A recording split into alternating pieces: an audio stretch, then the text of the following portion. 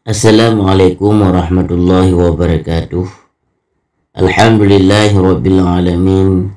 Wassalatu wassalamu ala sayyidina Muhammad wa ala alihi wa ashabihi ajma'in. Pada kesempatan kali ini kita akan menceritakan kisah sahabat Rasulullah yang bernama Sa'id bin Zaid radhiyallahu anhu. Sa'id bin Zaid Al-Adawi radhiyallahu an merupakan kelompok sahabat yang memeluk Islam pada masa-masa awal sehingga ia termasuk dalam kelompok As-Sabiqun Al-Awwalun.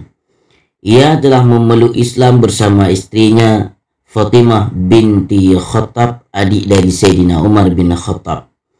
Sejak masa remajanya di masa jahiliyah ia tidak pernah mengikuti perbuatan-perbuatan yang umumnya dilakukan oleh kaum Quraisy seperti menyembah berhala, bermain judi, minum minuman keras, main wanita dan perbuatan nista lainnya. Sikap dan pandangan hidupnya ini ternyata diwarisi dari ayahnya Zaid bin Amru bin Naufal. Sejak lama, Zaid bin Amru telah meyakini kebenaran agama Nabi Ibrahim tetapi tidak mengikuti agama Yahudi dan Nasrani yang menurutnya telah jauh menyimpang dari agama Nabi Ibrahim. Ia tidak segan-segan mencela cara-cara peribadatan dan perbuatan jahiliyah dari kaum Quraisy tanpa rasa takut sedikit pun. Ia pernah bersandar di dinding Ka'bah ketika kaum Quraisy sedang melakukan ritual-ritual penyembahannya dan ia berkata, "Wahai kaum Quraisy, Apakah tidak ada di antara kalian yang menganut agama Nabi Ibrahim selain aku? Zaid bin Amru juga sangat aktif menentang kebiasaan kaum Quraisy mengubur hidup-hidup anak perempuannya karena dianggap sebagai aib. Seperti yang pernah dilakukan Sayyidina Umar bin Khattab di masa jahiliyahnya. Ia selalu menawarkan diri untuk mengasuh anak perempuan tersebut ia juga selalu menolak memakan daging sembelihan yang tidak disebutkan nama Allah saat penyembelihannya dan juga penyembelihan untuk berhala-berhala. Seakan-akan ia memperoleh ilham. Ia pernah berkata kepada sahabat dan kerabatnya, Aku sedang menunggu seorang Nabi dari keturunan Nabi Ismail. Hanya saja rasanya aku tidak akan sempat melihatnya tetapi saya beriman kepadanya dan meyakini kebenarannya. Zaid bin Amru sempat bertemu dan bergaul dengan Nabi Muhammad sallallahu alaihi wasallam sebelum beliau dikukuhkan sebagai nabi dan rasul. Sosok pemuda ini yakni Nabi Muhammad sallallahu alaihi wasallam sangat mengagumkan bagi dirinya. Di samping akhlaknya yang mulia, pemuda ini juga mempunyai pandangan yang sama dengan dirinya tentang kebiasaan dan ritual jahiliyah kaum Quraisy pada ketika itu. Tetapi Zaid meninggal ketika kaum Quraisy sedang memperbaiki Kaabah, yakni ketika Nabi berumur 35 tahun. Dengan didikan seperti itulah Sa'id bin Zaid tumbuh dewasa.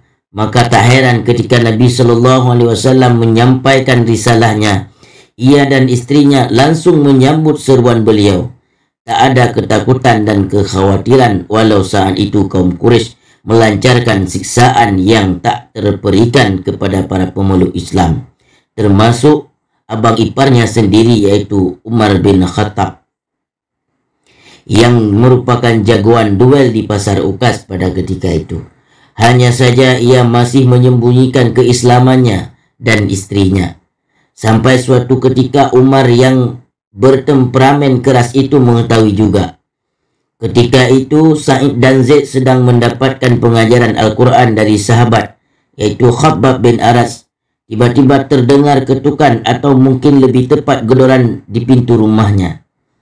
Ketika ditanyakan siapa yang mengetuk tersebut, terdengar jawaban yang garang. Umar, suasana khusyuk dalam pengajaran Al-Quran tersebut menjadi kacau.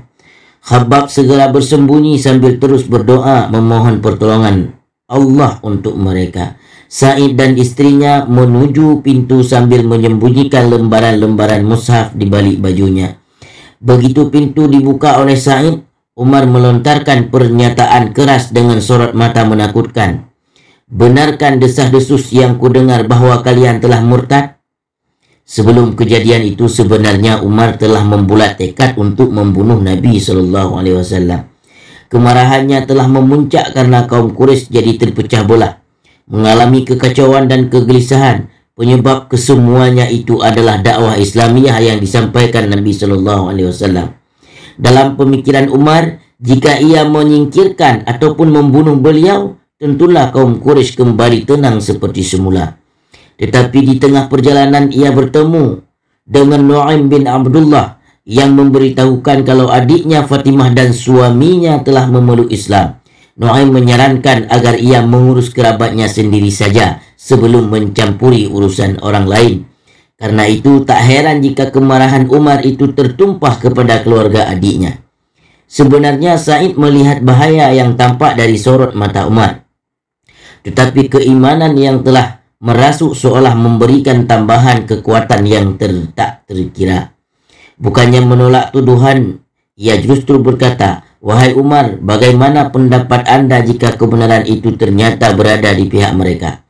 Mendengar jawaban itu, Umar langsung menerkam Said, memutar kepalanya kemudian membantingnya ke tanah. Setelah itu Umar menduduki dada Said seperti Umar ingin memberikan pukulan pemungkas untuk Said seperti kalau ia mengakhiri perlawanan musuhnya ketika sedang berduel di pasar Ukas. Fatimah mendekat untuk membela suaminya, tetapi ia mendapat tinju keras Umar di wajahnya sehingga terjatuh dan darah mengalir dari bibirnya. Keadaan Sa'id sangat kritis. Ia bukan lawan duel sebanding dengan Umar dan ia hanya bisa pasrah jika Umar akan menghabisinya. Tetapi tiba-tiba terdengar pekikan keras dari istrinya, yaitu Fatimah. Bukan ke, bukan ketakutan, tapi pekikan perlawanan dan permusuhan dengan penuh keberanian. Hai musuh Allah, kamu berani memukul saya karena saya beriman kepada Allah. Hai Umar, perbuatlah yang kamu suka karena saya akan tetap bersaksi bahawa tiada Tuhan melainkan Allah dan bahawa Nabi Muhammad adalah Rasulullah. Umar tersentak bagai disengat listrik. Pekikan itu seakan menembus ulu hatinya, terkejut dan heran. Umar bin Khattab seakan-akan tak percaya wanita lemah ini yang tidak lain adiknya sendiri berani menentangnya. Tetapi justru dari keheranan dan ketidakpercayaan ini, amarahnya menjadi reda dan kemudian menjadi titik balik ia memperoleh hidayah dan akhirnya memeluk agama Islam. Mungkin pada kesempatan kali ini cukup sekian dari kisah sahabat Rasulullah yaitu Sa'id bin Zaid yang insya Allah kita akan sambung ceritanya lagi pada pertemuan yang ke depan insya Allah. Mohon maaf atas segala kekurangan. Assalamualaikum warahmatullahi wabarakatuh.